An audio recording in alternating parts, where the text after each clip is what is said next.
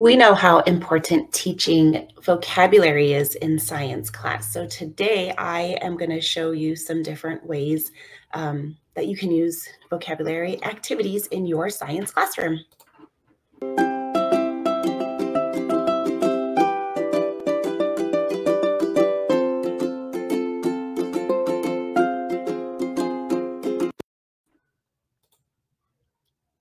Well, hello, I am Fleur, the face behind Aloha Monday Teaching, where I help fellow middle school science teachers like you and me be more intentional, um, refreshed, and prepared for Monday or any day.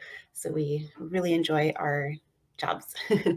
all right, so today we are talking all about vocabulary, and this is based on um, this blog post, and everything is going to be linked below. I've got some short um, videos showing these different activities in practice. And let's just get started. All right, so we've got five um, ways to practice vocabulary with your students. Here's what we're going to talk about today. So first are just a few teaching strategies when it comes to teaching vocabulary in science class. Um, and then the five activities are using flashcards, vocabulary frames, matching activities, worksheets, and games.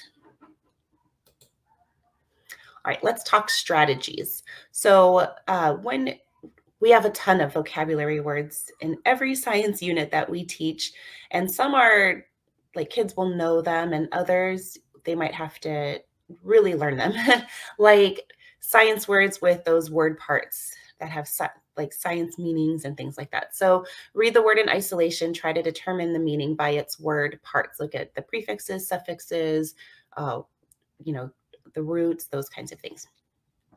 Read the word in context and see if you can determine its meaning or explain its meaning from the text. So as you're reading, the kids are reading their textbooks, see if they can figure out what the word means and take notes.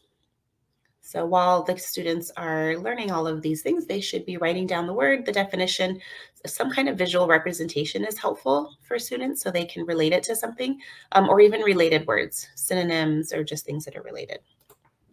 Okay, so activity number one is flashcards. Now, students don't come to you knowing how to use flashcards unless if they've been taught before. So I would teach them and that way you know that they know how to use flashcards. So obviously they're going to write the word on one side of the flashcard and the definition on the other.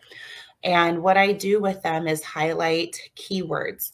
And when we do this, we do this together. I have the students look at the definition, pick out the words that are most important or some keywords that will help them remember the meaning of this vocabulary word. They I mean, because when they look at the definition, if you use, if you look it up somewhere else or you're reading it, it's not going to be worded exactly the same all the time.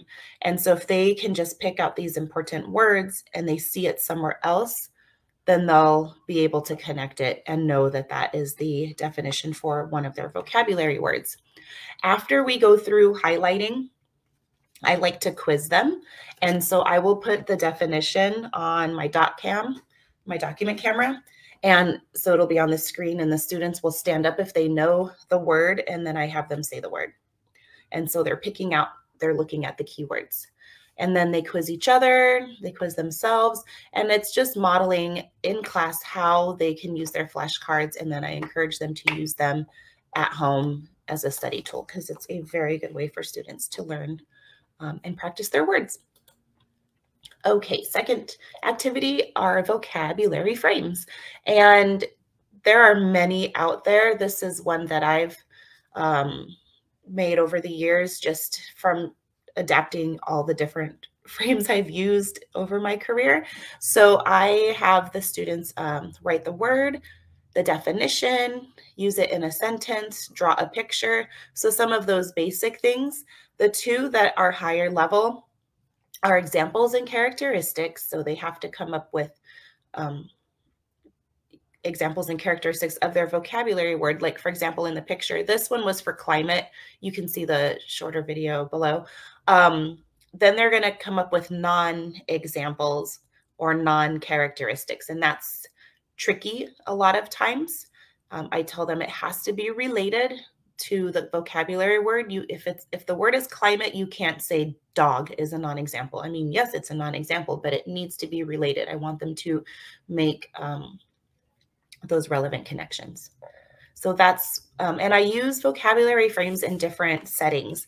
I'll use it in a vocabulary station. I'll use it as just um, like a warm up sometimes as bell work or as a, just an independent assignment because I want them to practice their words. Another activity is matching. You can use matching cards at a station, or um, sometimes I like to use my self-checking puzzles that I've made, and that way they can just check their work. Uh, so those are two types of matching activities you can do with your students. They can do this in a station as independent work, as homework. They can, you know, maybe use each other's flashcards. And that way they're just really looking at the definition, matching them making sure they understand it. And as an extension after this in a station, I will have them complete a vocabulary frame. I usually make them choose words that they missed, matched, and words of their choice. Okay, another activity to use are just worksheets. Go old school, do some worksheets because this is good practice too, and it helps them prepare for any kind of standardized testing or your quiz. So, you know, you've got your fill in the blanks, um, using it in context, labeling, matching, writing out a definition. You can do all of those things on a worksheet, which can be done independently. It can be done for homework, bell work, in a station. You can do these anytime and the fifth activity for vocabulary is playing games. You can play memory, um, bingo, they can quiz each other. Quizlet is another option online. Like all the words will be on Quizlet. They can make their own Quizlets. I'm not quite sure how that works on the student end. I just know how to use it on my end. Um, so we'll do Quizlet Live. Um, this picture is just a simple way you can make your own bingo game. You just create a table in PowerPoint or Microsoft Word and then put some words in there or have the kids fill in the words. I've done this before too. So you can project a list of words on the screen, give them a blank table to write in. They fill in the words and then you get your flashcards and you read the definition or show the definition and they mark the word on their own bingo card. So those are some easy ways to play bingo in class. All right, so we just went over five different activities you can have your students use to practice their vocabulary words. We did um, flashcards, vocabulary frames, matching. We talked about worksheets and games. And we also talked about teaching the vocabulary using the reading the word in isolation, looking at its word parts, reading it in context, and then taking notes. So, what new, if there's any new vocabulary strategy or activity, um, did you see today that you will use in your classroom? Like these are super simple to implement, and you can use it with any science unit. And if you're not a science teacher, you can use it with any vocabulary word. So, just reply in the comments below. And while you're at it, go ahead and check out these other videos. And I put the shorts um, the shorter videos below and some other related videos um, to teaching vocabulary and science.